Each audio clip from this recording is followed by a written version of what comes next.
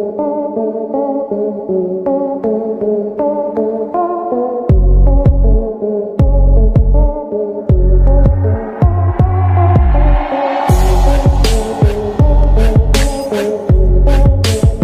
बॉलीवुड की dancing queen Nora Fatehi कितनी बेहतरीन डांसर है, ये तो सभी जानते हैं। वहीं उनका फ़ैशन स्टाइल भी बहुत लाजवाब है, जिसका हर कोई दीवाना है। एक्ट्रेस अक्सर ही बोल्स हुड्स पहनकर ऐसा कह ढाती हैं, जिस पर लोग सिर्फ़ फदा ही नहीं होते, बल्कि उनकी तारीफ़ करने पर भी मजबूर हो जाते हैं।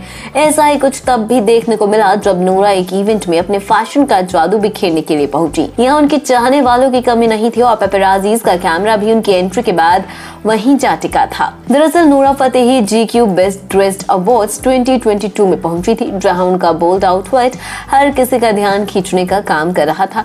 इस येलो कलर के गाउन में कट आउट डिटेल इतनी थी कि एक्ट्रेस बेहद सेक्सी लग रही थी और हर किसी ने और एक्ट्रेस की कट आउट डिटेलिंग वाली ड्रेस ने सभी को उनका दीवाना भी बना दिया।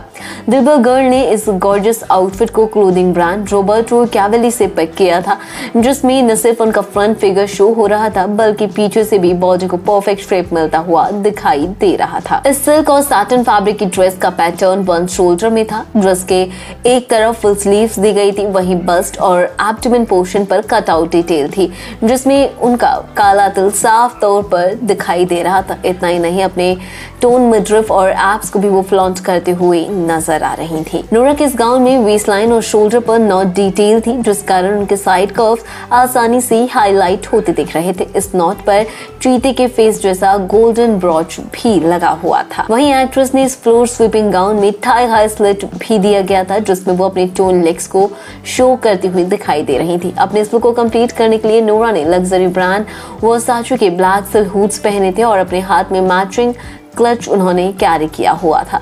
एक्सेसरीज के तौर पर स्टेटमेंट ब्रेसलेट डायमंड रिंग्स और स्टोन्स कैरी किए थे। मेकअप के लिए shimmery eye shadow winged eye liner mascara nude shade lip blush streaks sharp contour और बीमिंग हाइलाइटर के साथ बालों को साइड पार्टेड करते हुए ओपन छोड़ा हुआ था। वेल well, आपको बता दें कि नूरा का ये गाउन बेहद शानदार लग रहा था और एक्ट्रेस नूरा फतेही ने अपने इस थाई गाउन में ड्रम कर सुर्खियाँ भी बटो